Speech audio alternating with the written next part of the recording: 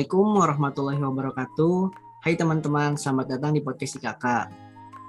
Sebelum kita mulai, gimana kalau kita kenalan dulu? Perkenalkan kami dari kelompok 11, ada saya Aduisto. Ada saya Intan Melayanti.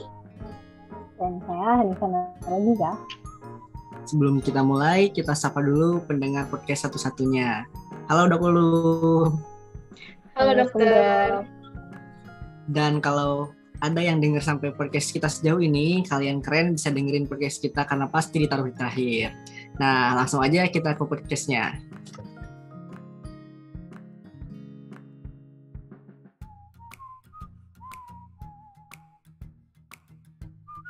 Nah, pada kesempatan podcast kali ini, kami dari kelompok 11 bakal bahas topik seputar reproduksi pada hewan, yaitu tentang fetotomi.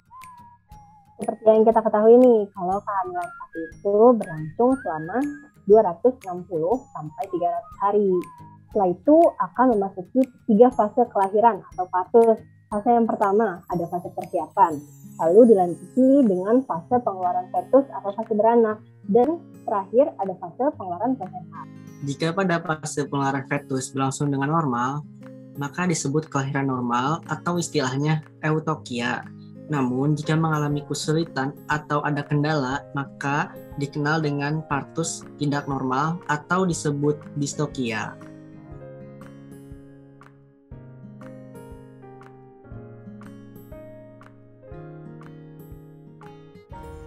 Nah, untuk distokia itu sendiri, apa sih? Untuk lebih jelasnya, distokia merupakan keadaan hewan yang mengalami kesulitan beranak atau partus, sehingga memerlukan pertolongan tenaga ahli. Penyebab dari distokia itu sendiri ada berbagai macam, seperti herediter, pakan, manajemen, trauma, maupun penyakit serta bisa juga kombinasi dari penyebab-penyebab tersebut.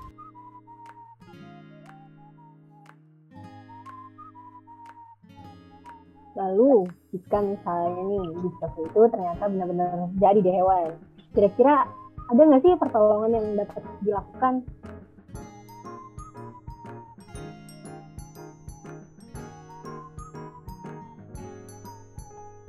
Penanganan distokia ini ada beberapa opsi tergantung kondisi induk dan anaknya sendiri.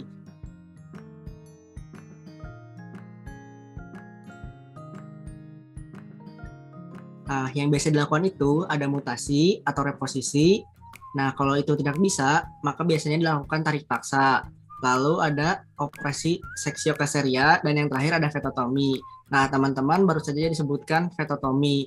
Itu yang akan menjadi pembahasan kita pada kesempatan kali ini. Nah, apa sih vetotomi itu?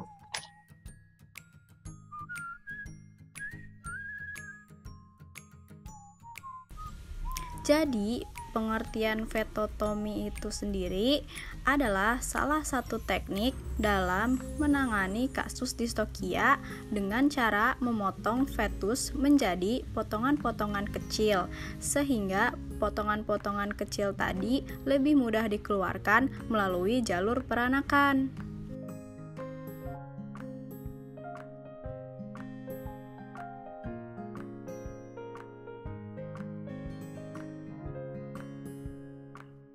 Dari berbagai macam penanganan distokia, kenapa sih kita harus milih metode vetotomi ini sendiri?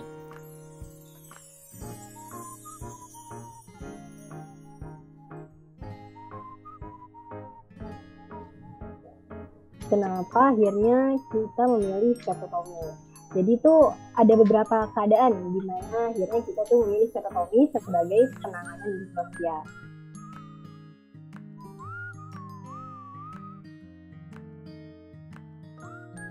Yang pertama, syarat yang pertama, fetusnya itu dalam keadaan mati atau fetus fetus mengidap penyakit yang menyebabkan harapan hidup fetus itu kecil meski berhasil dilahirkan dengan prosedur sesar.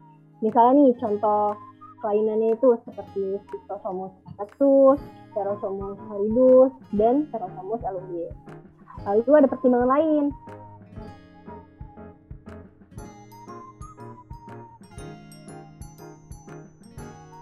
misalnya kita sudah melakukan usaha reposisi, tapi ternyata fetusnya itu tetap sulit dikeluarkan karena misalnya contoh uh, ukuran fetusnya itu terlalu besar atau ukuran tulang pelvis dari indukan itu terlalu kecil. Ada lagi pertimbangan lain seperti kualitas anak, keselamatan induk, faktor ekonomi, lokasi, serta keberadaan fasilitas penunjang operasi. Nah, kalau syarat-syarat itu terpenuhi, maka fetotomi lebih baik dipilih sebagai penanganan ya.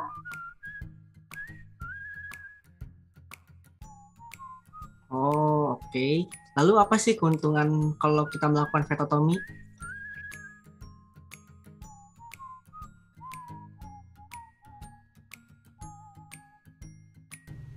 Nah, untuk keuntungannya itu sendiri dari prosedur vetotomi yang dilakukan dengan benar adalah dapat mengurangi ukuran janin untuk memfasilitasi persalinan yang aman per vagina. Hal ini dapat menghindari operasi sesar sehingga paparan indukan terhadap risiko bedah terhindari.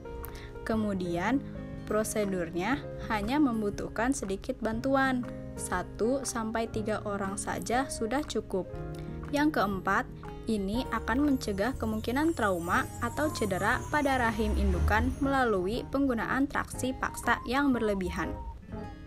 Kemudian, kondisi umum indukan cenderung lebih stabil dibandingkan setelah operasi sesar, dan waktu pemulihan lebih singkat, biasanya lebih sedikit setelah perawatan. Yang paling penting adalah lebih ekonomis dari prosedur sesar.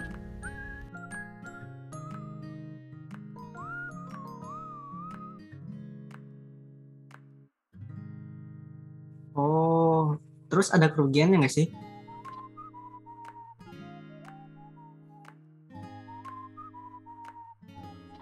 Pasti ada. Kalau ada kelebihan, pasti ada kerugiannya dulu ya, ada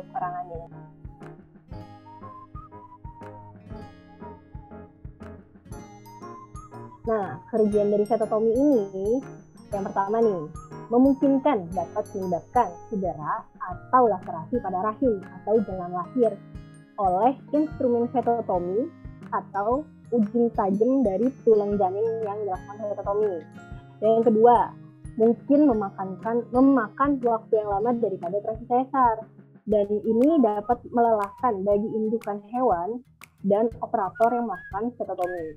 Yang ketiga, dokter hewan itu dokter hewan akan lebih rentan terhadap resiko luka akibat instrumen setotomi atau pecahan tulang janin yang tajam. Dan yang keempat, jika janin emphysematus, maka kemungkinan infeksi pada tangan operator itu bisa terjadi. Kan udah nih dari tadi, bahas teori, bahas kelebihan, kekurangan. Kira-kira gimana sih cara fetotomi itu sendiri?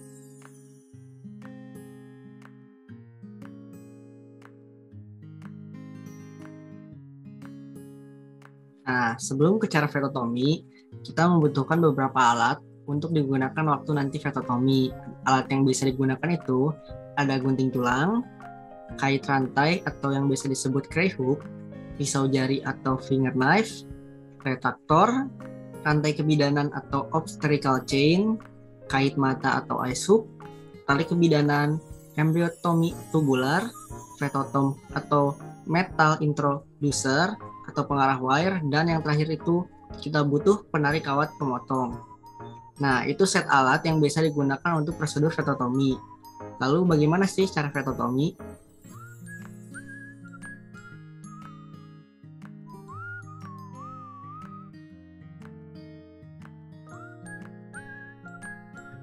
Nah, buat yang belum tahu cara vetotomi, yang pertama, hewan terlebih dahulu dianestesi dengan rute epidural. Lalu pada bagian belakang induk hewan dibersihkan. Kemudian, siapkan peralatan yang akan digunakan dan rendam dalam cairan antiseptik agar pengerjaan vetotomi menjadi lebih steril. Kemudian, operator harus membersihkan tangan hingga lengan atas dengan sabun dan antiseptik.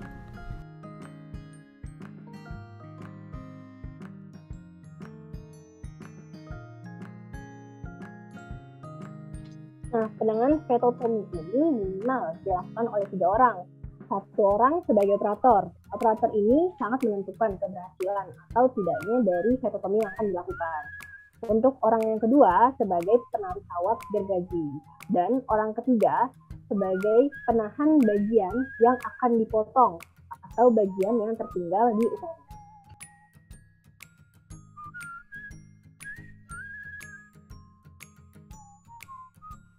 Nah, untuk pemotongan bagian ini nggak sembarangan main potong aja.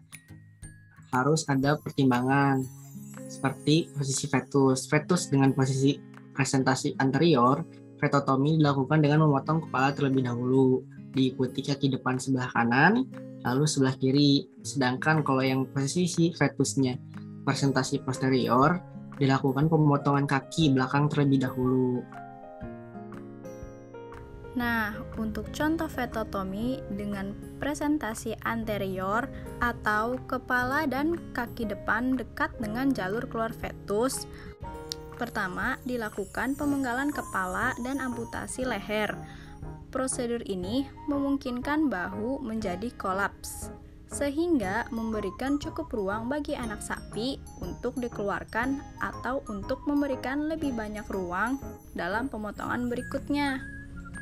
Yang kedua, pemotongan dan pengeluaran isi toraks.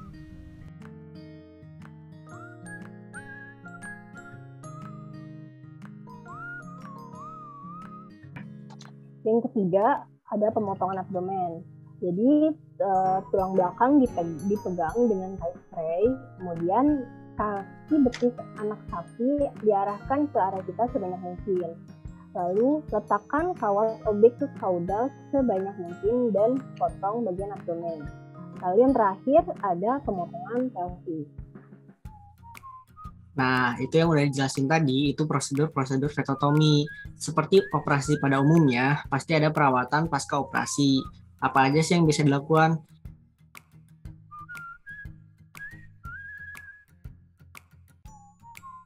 Nah, yang bisa dilakukan itu setelah prosedurnya selesai, rahim dicuci menggunakan antibiotik. Nah, terus kita periksa apakah ada luka rahim akibat dari pemotongan fetus, entah dari tulang fetus atau dari alat yang kita gunakan. Bila ditemukan luka, lakukan segera pengobatan. Nah, untuk induknya sendiri, biar menghindari kekurangan mineral pada induk, biasanya induk itu diberi tambahan sub, su, apa, suplemen mineral pasca partus. Jika terjadi penyakit spesifik pasca operasi, dilakukan penanganan yang uh, lebih lanjut.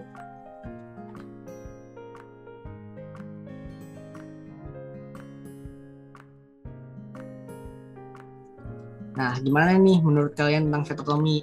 Menarik kan? Oh, baru banget. iya nih, kita juga bisa dapat info baru teman-teman. Nah, kita sudah sampai di akhir podcast ini. Semoga banyak yang bisa kita sharing dan nanti akan bermanfaat. Uh, kami pamit undur diri. Saya Adwisto. Saya Intan Melayanti. Dan saya Nisa Aziza. Sekian, terima kasih sudah mendengarkan. Wassalamualaikum warahmatullahi wabarakatuh. Dadah. Dadah.